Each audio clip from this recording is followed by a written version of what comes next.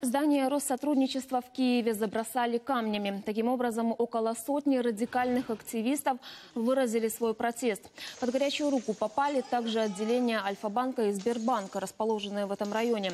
За действиями радикалов наблюдали нацгвардейцы и патрульные, однако ситуацию не вмешивались.